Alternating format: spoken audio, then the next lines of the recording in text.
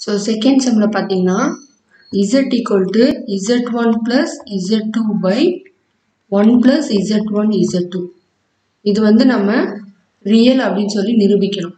So ஒரு மெய்யன் அப்படி நிரூபிக்கிறது நம்ம என்ன பண்ணோம் அப்படின்னா இசட் ஈக்குவல் டு என்னது? இசட் பார்னு வந்துச்சுனாலே அது வந்து மெய்யன் இப்போ சம்மில் நமக்கு ரெண்டு கலப்பெண்கள் கொடுத்துருக்காங்க. ஸோ மாடலஸ் இசட் ஒன் வந்து நமக்கு என்னது? ஒன்று modulus Z two one Z two வந்து நமக்கு என்னது ஒன் இதே நம்ம எடுத்துக்காட்டு சம்மில் பார்த்த மாதிரி இதை பார்த்தீங்கன்னா நம்ம வர்க்கப்படுத்தணும்.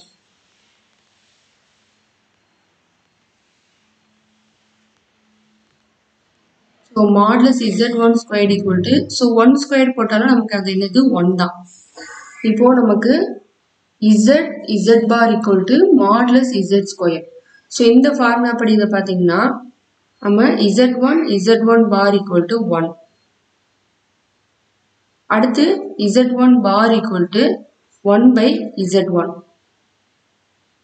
so இதை ஒரு இதாக வச்சுருங்க. அடுத்து இதை நம்ம என்ன பண்ணணும்? அடுத்து modulus Z two equal to one இதே நம்ம வர்க்கப்படுத்துகிறோம்னா modulus Z two squared equal to one square நமக்கு வந்து ஒன் தான். ஸோ இதே நம்ம பார்த்தீங்கன்னா Z two Z two bar equal to one so Z two bar equal to one by Z two இப்போ இதை வந்து நம்ம எடுத்துட்டு வந்து என்ன பண்ண போறோம்னா இந்த இசட்ல. ஏன்னா இதை தான் நம்ம என்ன செய்யணும்? மெய்யன்னு நிரூபிக்கணும். So Z equal to Z one என்ன கண்டுபிடிச்சிருக்கோம்?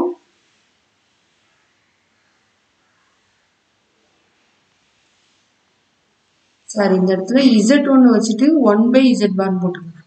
இசட் ஒன்று வச்சுட்டு ஒன் பை இன்ட்டில் இருக்க இசட் ஒன் பார் நமக்கு டிவைடில் வந்துடும் அதே மாதிரி தான் இசட் டூவை ஒன் பை இசட் டூ பார்னு வச்சுக்கலாம் ஏன்னா நமக்கு சம்ல இசட் ஒன் இசட் டூ தான் இருக்குது ஸோ அதை கண்டுபிடிச்சா தான் நமக்கு யூஸ் ஆகும் ஓ one by Z one bar plus one by Z two bar divided by 1 plus 1 by z1 bar into 1 by z2 bar. இப்போ இதை நம்ம எல்சிஎம் எடுத்தோம்னா z1 bar z2 bar. So z2 bar plus z1 bar 1 plus 1 by z1 z2 bar. So z2 bar plus z1 bar by z1 bar z2 bar divided by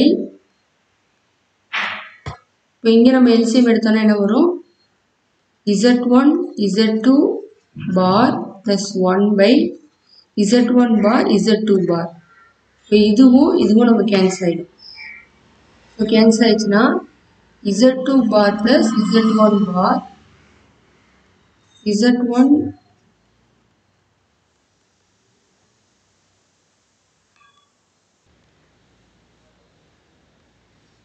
so நமக்கு கூட்டல் ஒன்று தெரியும். Z one bar plus Z two bar equal to Z one plus Z two bar ரெண்டே நம்ம சேர்த்து போடணும். அதே மாதிரி Z one plus Z two bar by one plus Z one bar two bar இப்போ இது எல்லாமே நமக்கு பார்ல இருக்கு.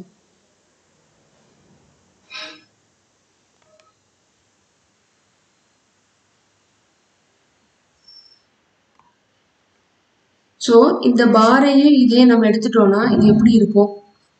பார் இதை எடுத்துட்டோம்னா Z one plus Z two by one plus Z one Z two இது நமக்கு என்னது? இசட் ஸோ இதில் பார் யூஸ் பண்ணுறதால இது நமக்கு என்னது? இசட் பார் அப்போது இசட் ஈக்குவல் டு இதை நம்ம என்ன பண்ணலாம்? அப்போ ஓவராலாக ஃபுல்லாக இசட் பார் போட்டலாம். அதாவது Z one plus Z two by one plus Z one Z two bar இப்படி போட்டுக்கலாம். ஸோ இப்படி புரிஞ்சுக்கிறத விட இப்போ நம்ம வந்து ஒன் ப்ளஸ் டூ ஐ இப்போ இங்கே போடுறோமா? Z one bar plus Z two பார்னு போட்டிருக்கத Z one plus Z two whole bar போட்டுறோம் மொத்தத்துக்கும். அதே மாதிரி இந்த ரெண்டு பாரை எடுத்து நம்ம மொத்தத்துக்கும் போடுறோம் இப்போ இந்த பிராக்கெட்டுக்குள்ள இருக்கிறது நமக்கு என்னது? இசட் நமக்கு மேலே என்ன இருக்கு? பார் இப்போ இசட் ஈக்குவல் டு இசட் பார்னு வந்துருச்சு. ஸோ தேர் ஃபோர் இசட் ஒரு மெய்யன்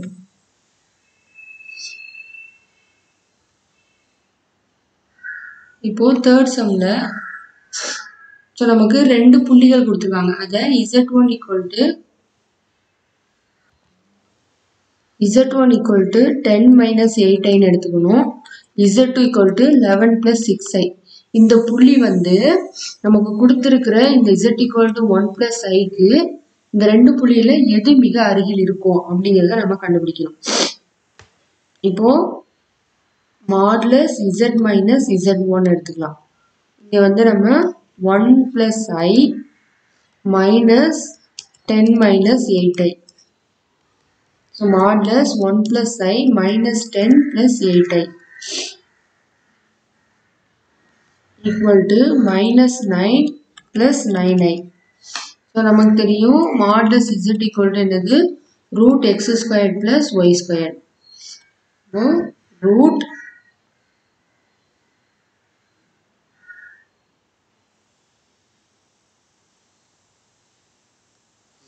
minus 9 squared plus 9 squared equal to root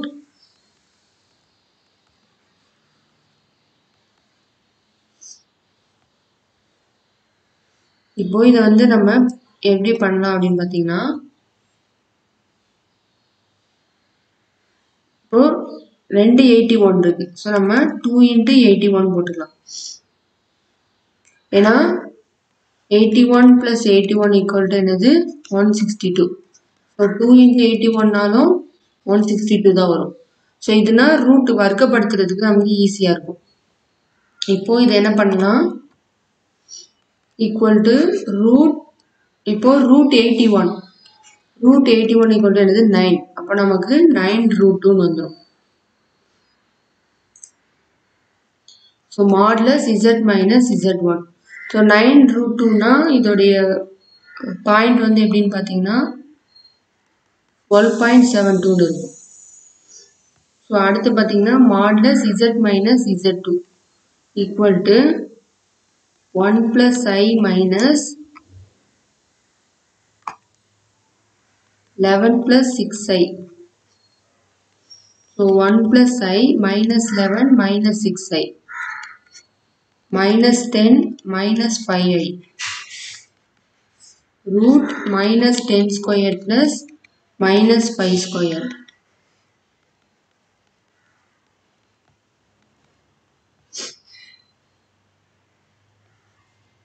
So 125 இதை வந்து நம்ம எப்படி பிரிக்கலாம்? 25 into 5 ஸோ ரூட் டுவெண்ட்டி ஃபைவ்க்கு வர்க்கப்படுத்தினோம்னா நமக்கு ஃபைவ் ரூட் ஃபைவ் இருக்கும். The modulus Z minus Z two so இதோட பாயிண்ட் நமக்கு என்னது? லெவன் பாயிண்ட் ஒன் எயிட் இப்போது மாடலஸ் இசட் ஈக்குவல் டு நமக்கு தெரியும் இசட் வந்து என்னது?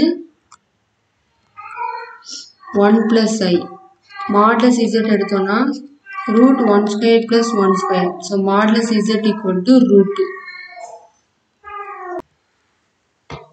இப்போது ரூட் டூவோட மதிப்பு one point four one four இப்போ மாடலஸ் இசட் மைனஸ் இசட் டூவோட மதிப்பு நமக்கு என்னது? Nine root two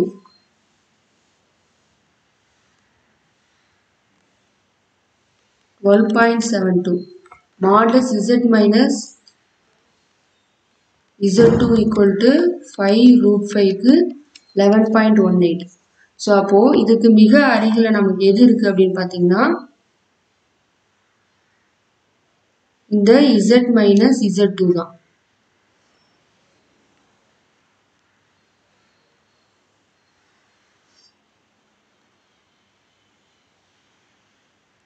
ஏன்னா இங்கே வந்து லெவன் பாயிண்ட் இது வந்து டுவெல் பாயிண்ட் ஸோ லெவனுக்கு அடுத்து தான் டுவெல் அப்போது z equal to 1 plus i என்ற புள்ளிக்கு z2 equal to 11 plus 6i